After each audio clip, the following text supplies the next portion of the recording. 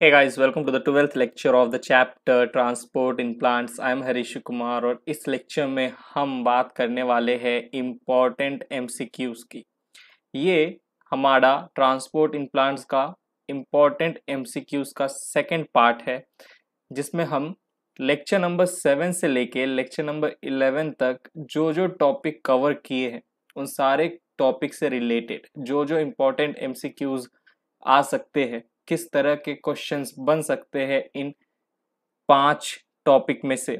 वो सारे क्वेश्चंस हम इस लेक्चर में देखेंगे। तो चलो ये लेक्चर शुरू करते हैं।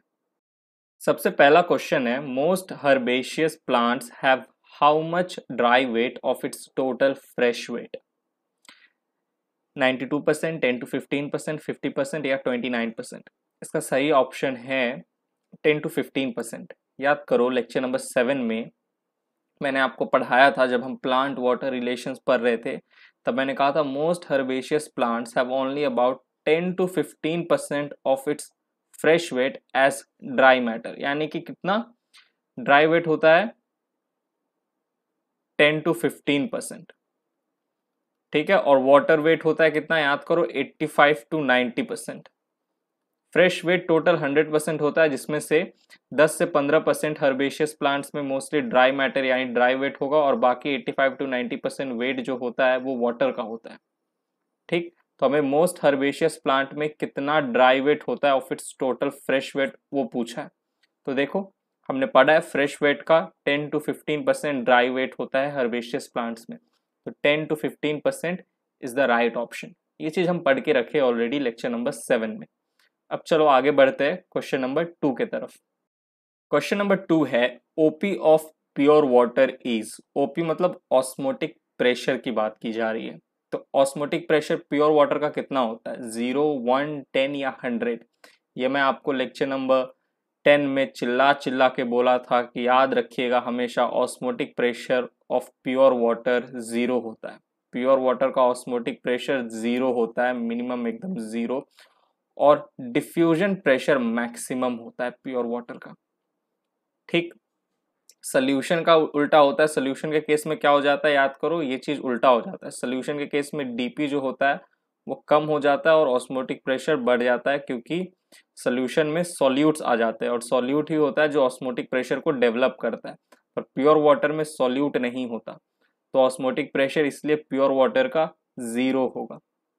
ठीक है, अब चलिए आगे बढ़ते हैं क्वेश्चन नंबर थ्री के तरफ़। अब बात करते हैं क्वेश्चन नंबर थ्री की। Which statement characterises a hypotonic solution option A the solution has a greater solute concentration than the one it is being compared to यानी कि आपको हाइपोटोनिक सोल्यूशन का कैरेक्टर समझना है। कौन सा स्टेटमेंट सही बता रहा है कैरेक्टर हाइपोटोनिक सोल्यूशन का? कि हाइपोटोनिक सोल्यूशन किस तरह के होते हैं? क्या hypotonic solution has equal solute concentration to one it is being compare to या the hypotonic solution has a lesser solute concentration than the one it is being compare to या none of the above सही option है option C lecture number nine में जब हम types of solution पढ़ रहे थे, तब मैंने आपको कहा था हाइपोटोनिक सोल्यूशन में क्या होता है? हाइपोटोनिक सोल्यूशन को अगर हम सेल के साइटोप्लाजम से सेल के साइटोप्लाजम से कंपेयर करें। सेल के अंदर जो साइटोप्लाज्म है, उसके कंसेंट्रेशन और हाइपोटोनिक सोल्यूशन को हम कंपेयर करें तो आपको पता चलेगा कि जो हाइपोटोनिक सोल्यूशन का कंसेंट्रेशन होता है, उसमें सॉल्यूट की मात्रा कम होती है। ठीक है? Compare to the cytoplasm concentration में जो सॉल्यूट की मात्रा है। तो the solution has lesser solute concentration than the one it is being compare to ठीक है? हमने क्या किया? हाइपोटोनिक सोल्यूशन कंसेंट्रेशन को सेल के जो साइटोप्लाज्म का कंसेंट्रेशन है, उससे कंपेयर किया तो हमें पता चला हाइपोटोनिक सोल्यूशन में क्या होता है? सॉल्यूट का कंसेंट्रेशन कम होता है और साइटोप्लाज्म जो सेल के अंदर जो साइटोप्लाज्म का कंसेंट्रेशन है, उसमें सॉल्यूट की कंसेंट्रेशन ज़्यादा होती है। अब सॉल्यूट कम है तो वाटर ज़्यादा होगा, ये तो आप समझ ही लोगे। ठीक है, और साइटोप्लाज्म कंसेंट्रेशन में सॉल्यूट ज़्यादा है तो वाटर कम होगा। इतना अकल तो हम सब में है ही। ठीक है, मुझमें भी, आप में भी तो सही ऑप्शन होगा ऑप्शन सी अब चलो बढ़ते आगे क्वेश्चन नंबर फोर के तरफ़। चलिए अब बात करते हैं क्वेश्चन नंबर फोर की। क्वेश्चन नंबर फोर में क्या पूछा है? Cell walls impregnated with water repellent suberin are found in the cells of option endodermis B pericycle C tracheids या डी रूट हेयर सही ऑप्शन है, ऑप्शन ए, एंडोडर्मिस। याद करो, लेक्चर नंबर एट में जब हम परमिएबिलिटी वाला लेक्चर पढ़ रहे थे, तब हमने उसमें इम्परमिएबल मेम्ब्रेन के बारे में पढ़ा था। हमने कहा था इम्परमिएबल मेम्ब्रेन ऐसे मेम्ब्रेन है which do not allow both solutes and solvent to pass through it और हमने एग्ज़ाम्पल देखा था इम्परमिएबल मेम्ब्रेन का cell wall cell wall of non living cells like suberised cell wall ठीक है? तो आप याद रखना प्लांट रूट में प्लांट रूट के जो एंडोडर्मिस होते हैं ना, उन एंडोडर्मिस उनमें क्या होता है? एंडोडर्मिस के जो सेल होते हैं, उनमें जो सेल वॉल होता है, उसमें इस तरीके से डिपोजिशन हो जाता है सुवेरिन का सुवेरिन का, जिसके कारण से ये सेल की डेथ हो जाती है। तो cell walls impregnated with water repellent suberin यानी कि जो सुबेरिन है, कैसा वाटर रिपेलेंट है? क्योंकि बिकॉज़ ये सुबेरिन का डिपोजिशन हो गया तो ये जो सेल वॉल है अब ना ही इसके अंदर सॉल्यूट या सॉल्वेंट जा सकता है। सॉल्वेंट मतलब वाटर समझिए यूनिवर्सल सॉल्वेंट वाटर है। तो सुबेरिन का डिपोजिशन हो गया तो ना ही सेल के अंदर सॉल्यूट या सॉल्वेंट जा सकता है और ना ही सेल के अंदर से बाहर की तरफ़ सॉल्यूट या सॉल्वेंट आ सकता है। तो जिसके कारण से जो सेल हुआ, उसकी डेथ हो जाती है। तो cell was impregnated with water repellent suberin are found in the cells of endodermis ठीक है प्लांट रूट के जो एंडोडर्मिस है, उनमें आपको सुबेराइज्ड सेल वॉल देखने को मिलेगा। अब बढ़ते आगे क्वेश्चन नंबर फाइव के तरफ़। क्वेश्चन नंबर फाइव है if the external solution balances the osmotic pressure of the cytoplasm the solution is set to be यानी कि जो सेल है सेल के अंदर जो साइटोप्लाज्म है, उसका कंसंट्रेशन और सेल के बाहर जो सोल्यूशन है, उसका कंसंट्रेशन सेम हो जाए। ठीक है? If the external solution balances the osmotic pressure of the cytoplasm. Then the solution is said to be hypotonic isotonic, hypertonic, and none of the above. सही ऑप्शन है आइसोटोनिक ठीक है?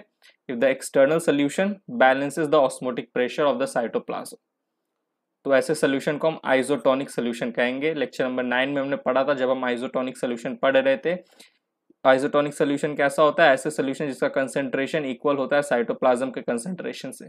यानी कि आइसोटोनिक सोल्यूशन ऐसा जो बैलेंस कर देता है osmotic pressure of the cytoplasm. ठीक है, यानी कि जितने सोल्यूट आइसोटोनिक सोल्यूशन में, उतने ही सोल्यूट साइटोप्लाज्म के कंसेंट्रेशन में भी है। ठीक है तो जितना ओपी यहाँ होगा, इतना ऑस्मोटिक प्रेशर यहाँ होगा, क्योंकि दोनों में सेम अमाउंट का सॉल्यूट है, और सॉल्यूट से ऑस्मोटिक प्रेशर लगता है। राइट ऑस्मोटिक प्रेशर किससे डेवलप होता है? सॉल्यूट के प्रेजेंस से सॉल्यूट होने से। ठीक?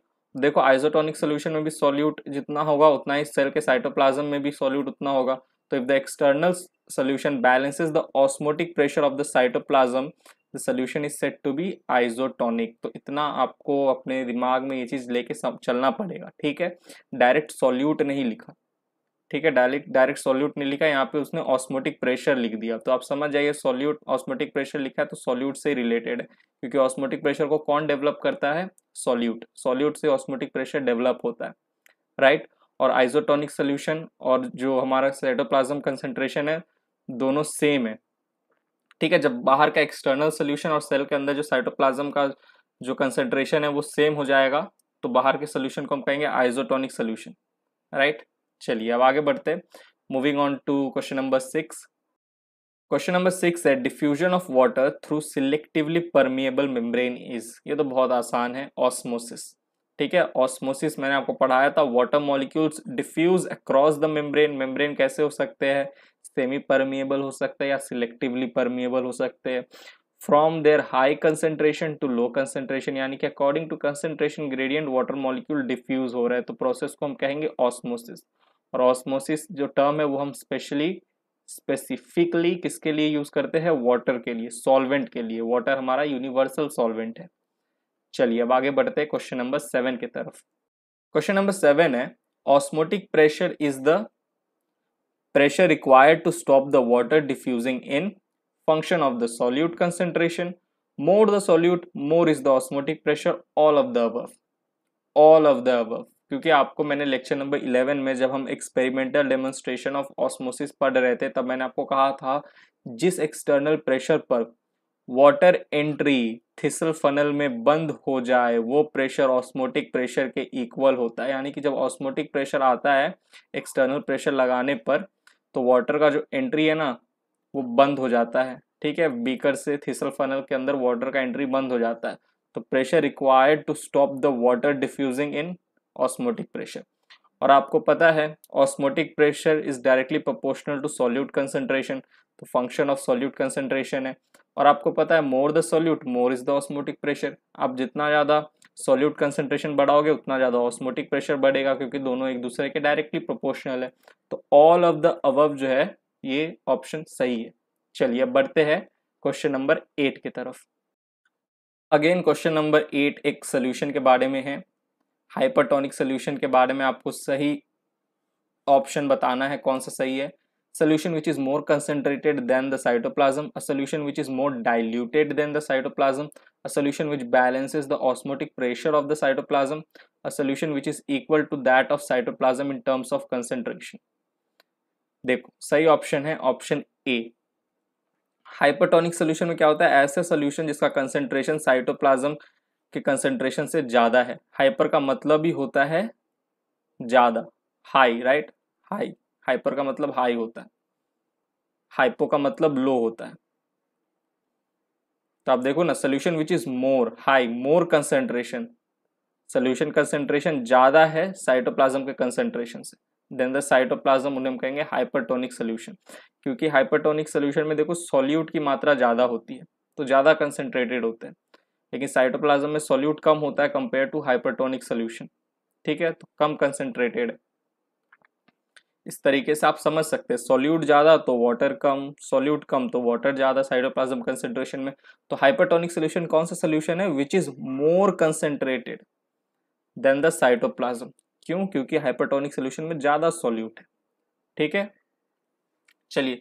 तो हम क्वेश्चन आठ ही तक देखेंगे। ये आठ इंपॉर्टेंट क्वेश्चन है। यूजुअली हम दस क्वेश्चन देखते हैं, पर मैंने आपको जितना टॉपिक पढ़ा है, उससे ज़्यादा क्वेश्चन आते नहीं है, लेकिन फिर भी जिस तरह के क्वेश्चन आते हैं, मैंने आपको यहाँ पे कटा दिए। ठीक है? किस तरीके से क्वेश्चन आ सकते हैं। और राइट तो यहाँ पे इंपॉर्टेंट एट क्वेश्चन है। इन्हें अच्छे से देखिएगा, समझिएगा। अगर आपसे कोई क्वेश्चन नहीं हुआ तो आप, अगर आप उससे रिलेटेड हो सकता है ना, कोई डाउट हो, तभी आपसे वो क्वेश्चन नहीं हुआ। ऐसे तो सारे क्वेश्चन हो जाने चाहिए। मैंने सब पढ़ा के रखा है। और राइट और मैंने दिखा भी दिया एक्सप्लेनेशन में कि कहाँ कहाँ कौन सी चीज़ें मैंने पढ़ाई है राइट पर फिर भी आपको कोई क्वेश्चन में डाउट आ रहा है तो आराम से कमेंट सेक्शन में डाउट पूछिए। कोई क्वेश्चन नहीं बना हो क्योंकि आपके दिमाग में कोई डाउट हो तो आराम से बेझिझक पूछिए डाउट ठीक है? तो आपसे मैं मिलता हूँ फिर अगले लेक्चर में ट्रांसपोर्टिंग प्लांट्स के, तब तक के लिए bye thank you take care